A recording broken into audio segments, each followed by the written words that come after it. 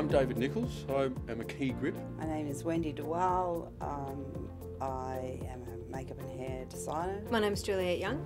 Um, I'm a camera assistant, a first AC or a focus puller. Uh, Ray Brown, key grip.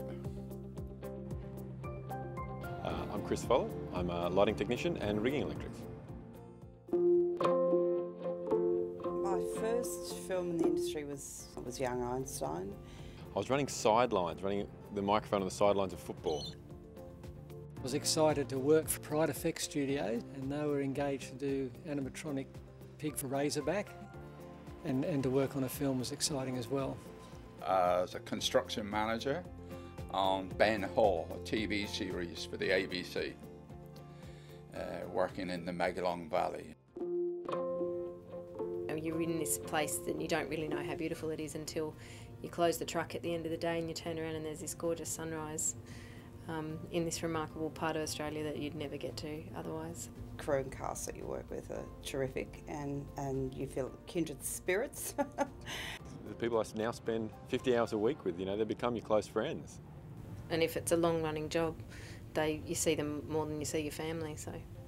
So locations, people, and the food's pretty good. he was in finance, he was pretty well off. Hearing my friend say he loved his salary package, but he did enjoy going to work, made me realise more than ever how lucky I was in all the films in my long career that I had the benefit of having being happy at work.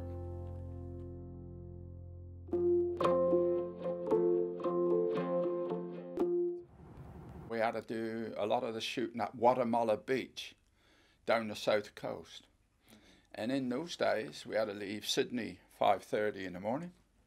And we never got back till 10 o'clock at night. In the year of 82, when we lost 11 guys uh, killed at work, and that brought the unions, the technicians, and the producers together. And we then formed the 14 point safety code together. We made them aware that we couldn't work like on the, the film in Wattamolla. Uh, that was dangerous. We couldn't keep working those hours, yeah. and um, for the love of the industry, you know. As I say, out of tragedy, uh, I feel come good, and we made a lot more strides uh, to keeping it safe. And I hope, way past my time, that it uh, stays that way. You know. So I think people worked really hard in the past. The crews worked hard in the past to secure those conditions for us, and I think um, it's a disservice to them and to us if we if we let them go. Since then, uh, a lot of those conditions have slowly been eroded and eroded and eroded, uh, especially with the incoming US and foreign features into the country. It just feels like each time this happens, we lose a little, uh, lose another handhold and a foothold, and something else gets lost. What really concerns me about where the last 10 years of negotiations have gone is that there are conditions that are, affect our safety working on the set. I've seen the accidents on set. I've watched it with my own eyes. It's dangerous. And people should, that line should never be crossed. And that's where I think the union um, fight for us. And I don't think it's negotiable. Our fatigue, that's the word I'm trying to think of, fatigue.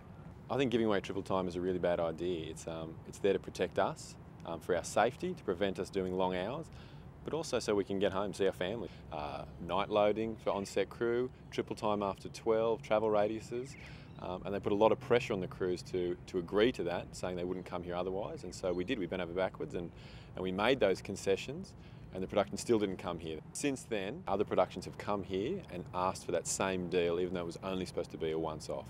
So what we thought was going to be a, a one-time production thing has now been stuck.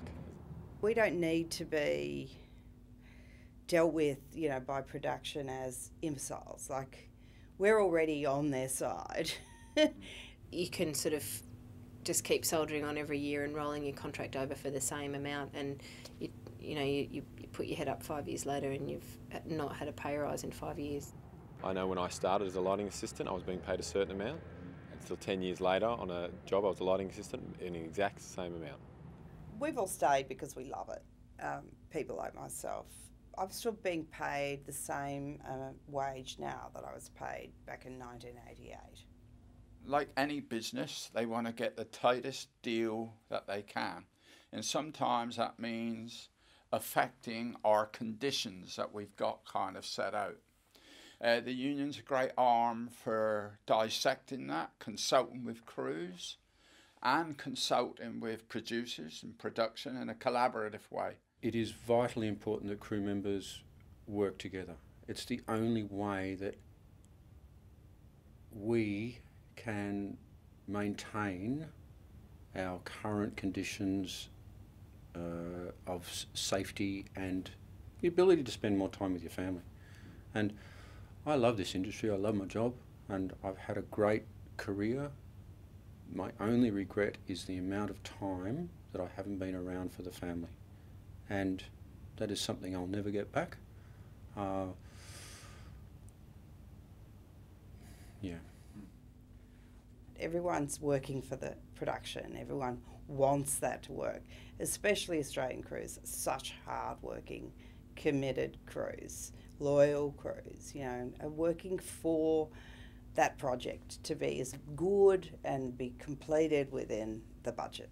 Also, that we get paid the right um, levels of pay so that we can um, maintain ourselves between jobs. Every time and have the same discussion with every production manager about what, what we need to earn to survive. So when it does get busy, we're still available. We haven't had to go and leave the industry. I decided to attend the meetings and vote and take part purely because I was directly affected. You know, it directly affected my pay each week and conditions, and maternity leave was an issue that was important to me. The union came out, held a few meetings with crew. We made a short list of issues that were important to us, and the union represented the crew in negotiations with the network and managed to win uh, quite a few changes on the crew's behalf, including things like maternity leave and CPI increases. It was also good to hear what other departments were, you know, were going through in, in, as far as expectations of overtime and turnaround. We should also be thinking about our fellow crew workers, who sometimes they bear the brunt of uh, these these uh, changes. We need representatives who are trained and who do understand how to work within a political system and to represent us. We weren't uh, being given our contracts, uh, and the union came in and uh, guided us and helped us support uh, support us as we made decisions what to do. And we um, we stopped work on a Friday lunchtime, and um, yeah, and the uh, contracts arrived. It's great to know that you can call the union to ask questions about about contracts and conditions. I think the union's really relevant. The industry's changing really fast, and they're they're changing with us as well. I've seen over the last couple of years um, them working really hard to engage with the crew. I guess it is good to know that there's someone there that's got your back. A strong union, to me, has a big membership with a unified voice, that, and productions recognise the power behind that voice. Without that collective, you have no voice.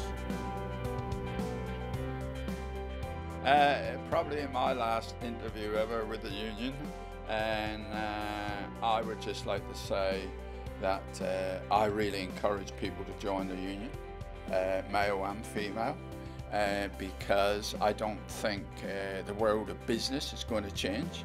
Get involved, it's your future, debate it, and enjoy it, but protect it.